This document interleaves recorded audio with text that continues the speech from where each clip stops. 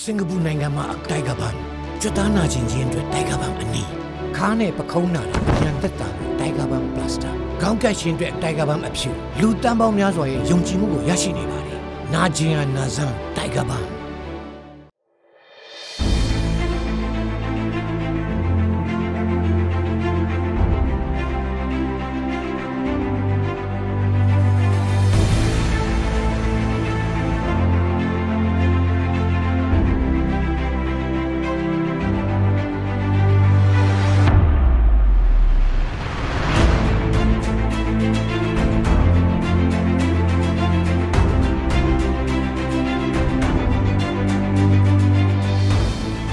ဒီတဲ့ပို့ပြီးခင်မိတဲ့လာ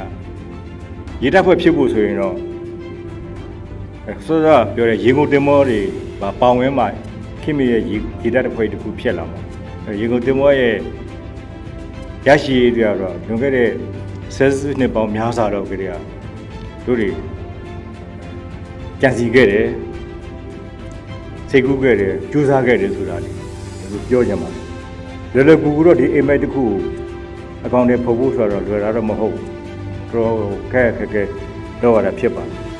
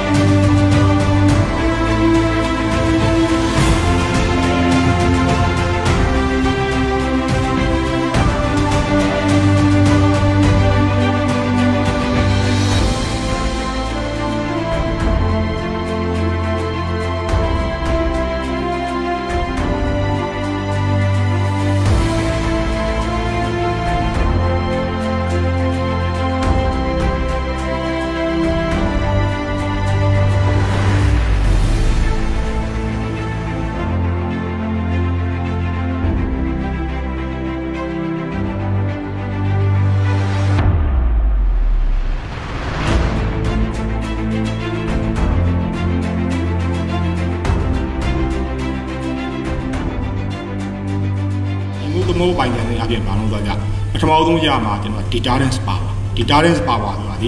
ဒီသူ့မှာရင်ငုတ်သမောရှိတယ်ဆိုတဲ့ဟာနဲ့တင်ကျွန်တော်တို့ကဒီ deterrence power ကလုံလောက်စစ်တိုက်စရာမလိုဘဲနဲ့ရရှိတဲ့ယူသေးမှုခံရမှုဒါပဲ deterrence power ပါအဲ့ဒါရင်ငုတ်သမောရဲ့ပထမရွေးတာ deterrence power ရနိုင်ပြီအဲ့ deterrence power ရလို့ရှိရင်ကျန်တဲ့မလိုလားတဲ့ဟာတွေနောက်ဆက်တွဲတွေပုံစံမျိုးဒီဟာတွေကိုရင်မျိုးကဒီဟာတွေကိုရင်မှတ်ပဲကျွန်တော်တို့ဆောင်ရွက်နေခြင်းဖြစ်တယ်